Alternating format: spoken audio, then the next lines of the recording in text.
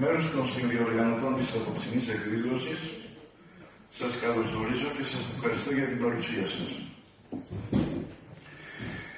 Καλωσορίζουμε και ευχαριστούμε τον κύριο Θανάση Λάλα για την μεγάλη τιμή και χαρά που μας έκανε να είναι απόψε μαζί μας και κυρίως για αυτό το σπουδαίο βιβλίο το οποίο και λίγο τυχαία το έγραψε και μας το χάρισε.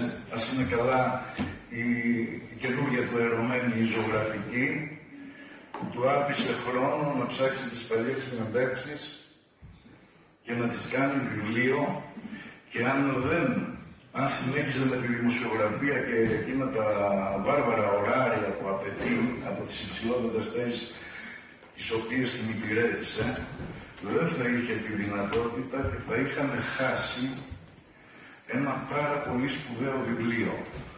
Και λέω σπουδαίο γιατί ε, γνωριζόμαστε όλοι, ξέρετε ότι είμαι από τους ανθρώπους που διαβάζω βιβλία, πάντα με έρχονται τα βιβλία από τα οποία μαθαίνουμε πράγματα.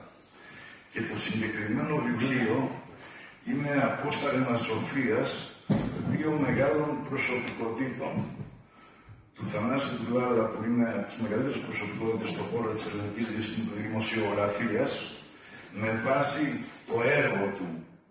Πήρε συνεντεύξεις από τους μεγαλύτερους πολιτικούς εποχής, όχι μόνο της χώρας και παγκοσμίως.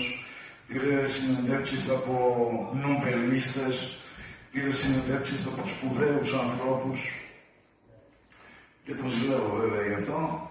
Και βέβαια για τη συνέντευξη, τη συγκεκριμένη από την